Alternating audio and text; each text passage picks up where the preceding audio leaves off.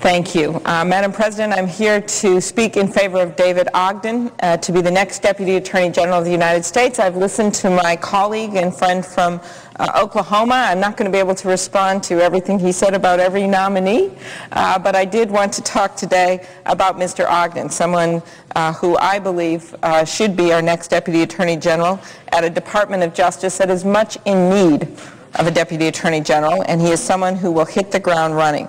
He will beef up the civil rights and antitrust enforcement to address white-collar crime and drug-related violence to help keep our country safe from terrorist attacks. We know that the to-do list and the demands on the next Deputy Attorney General will be great. And part of why it will be so great, Madam President, is something that I saw in my own state. We had a gem of a United States Attorney General's office in Minnesota, and we still do.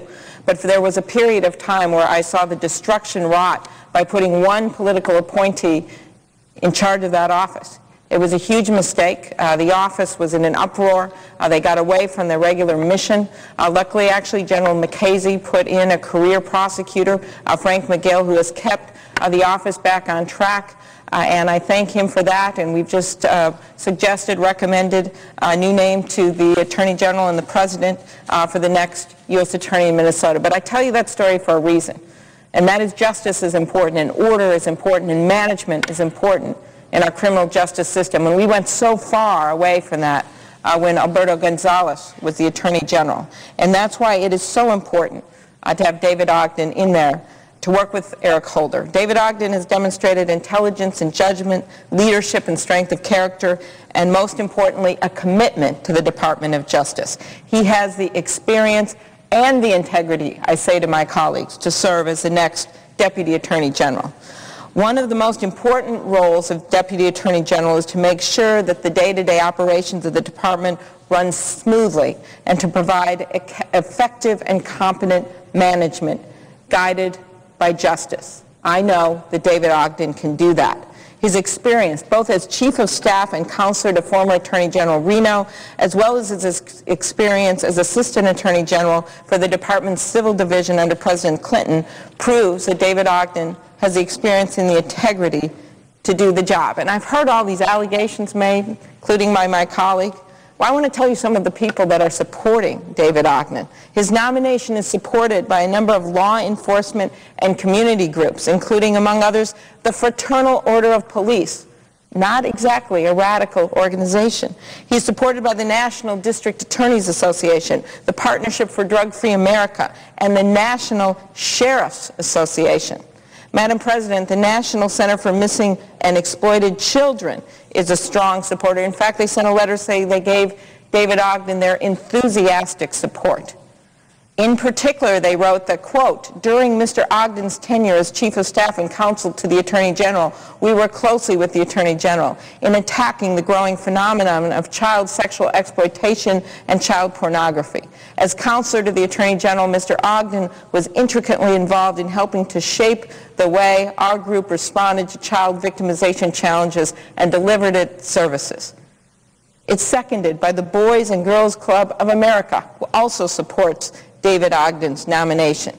In addition to these law enforcement and child protection groups, David Ogden has received broad bipartisan support from a number of former department officials, including Larry Thompson, a former deputy attorney general under President George W. Bush, and George Terwilliger, who served in the same role under President George H.W. Bush.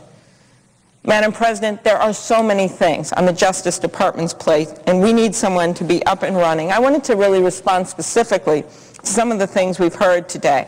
Uh, there was a statement uh, by one of the senators that Mr. Ogden opposed a child pornography statute that we passed in 1998. That is simply not correct and I hope my colleagues know that. In fact, as head of the Civil Division of the Department of Justice, he led the vigorous defense of the Child Online Protection Act of 1998 and the Child Pornography Prevention Act of 1996.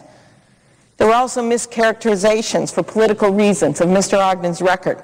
We already talked about how he's supported by the major police organization in this country. Well, in addition to that, he has a general business practice, and before that he served in government. His work at Wilmer Hale Law Firm over the past eight years, for example, hasn't centered on the First Amendment litigation. He's represented corporate clients from Amtrak to the Fireman's Fund. They also said that somehow um, Mr. Ogden, he took some a position taken by Mr. Ogden's clients, who were America's librarians and booksellers. Rather, the Senate rejected the Clinton administration's interpretation, and Mr. Ogden made clear to the Judiciary Committee that he disagreed uh, with that interpretation. In his testimony, he made clear that he is comfortable with the ruling of the court and agreed with the Senate resolution.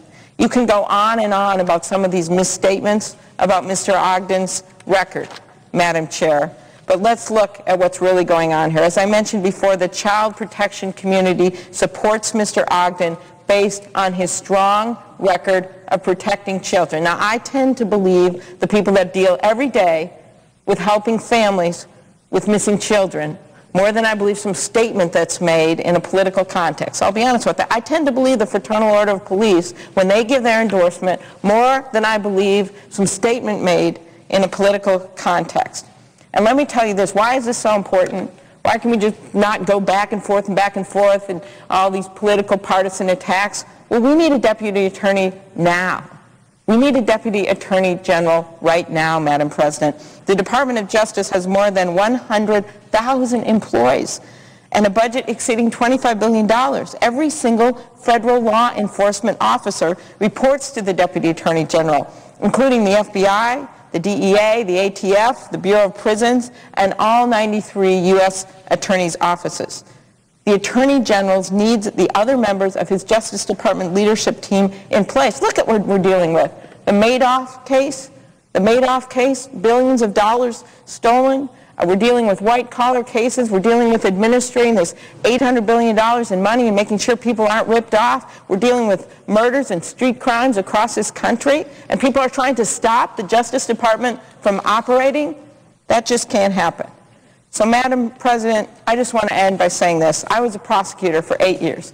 And always my guiding principle was that you put the law above politics.